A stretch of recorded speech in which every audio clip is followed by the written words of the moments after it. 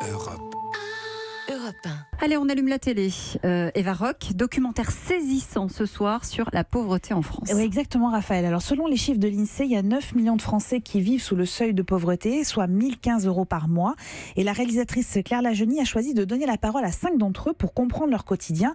Alors, sans aucune caricature, sans misérabilisme. Sébastien, par exemple, il a 32 ans, bac plus 6.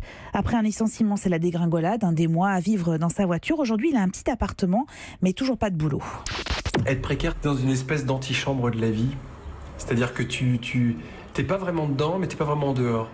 Quand tu dois attendre la journée parce que t'as pas de boulot, parce que tu peux rien faire, c'est un peu comme si t'étais, euh, t'as le bracelet électronique, quoi, en gros. T'es chez toi, mais tu peux rien faire, t'as pas de liberté. Ouais, pas de boulot, pas d'argent, pas de vie sociale. Il y, a- il y a un côté, euh, la vie s'arrête en fait. Et alors, le quotidien de Sébastien, c'est un calcul permanent pour tenter de finir euh, le mois avec encore quelque chose dans l'assiette. Je vis avec une calculatrice en tête, en fait, concrètement. Tu vois, moi, quand je vais faire des courses et que j'en ai pour 7 euros, je me dis, putain, 7 euros, quoi. tu vois, ça paraît un peu ridicule, mais 7 euros. Avant, quand je travaillais, euh, je dépensais 20, 25 balles en faisant mes courses. Pose pas de questions, 20, 25 balles aujourd'hui, mais c'est une vraie fortune.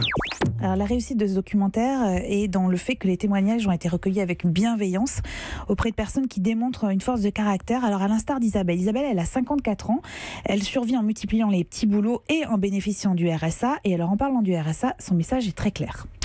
Mais le RSA, c'est, je dirais, un, un sparadrap, un, cache-misère. Parce que les gens qui ne sont pas passés par le RSA, c'est facile de critiquer, mais, mais qu'ils essayent de, de faire avec. Parce qu'à un moment donné, à 460 euros, tu ne vas plus jamais bien. Parce que du 1er au 30 du mois, tu es dans ce que Coluche disait. euh, les fins de mois qui durent 30 jours. Donc, il te faut un sourire, il te faut quelque chose. De toute façon, tu feras des malheureux parce qu'avec tes 460 balles, tu peux pas payer tout ce que tu as payé. Donc, tu deviens quelqu'un qui, à la limite, baisse tout le temps les yeux. Et moi, je veux plus les baisser parce que ce que, ce que je demande, c'est une usine qui me permet de faire mes 7 heures, d'avoir un SMIC. Je demande pas plus un SMIC pour être debout, pour avancer. Un documentaire très réussi qui donne un visage à des statistiques et c'est poignant, c'est suivi d'un débat et c'est à voir sur France 5 à 20h55. Pauvre de nous. Europe. Europe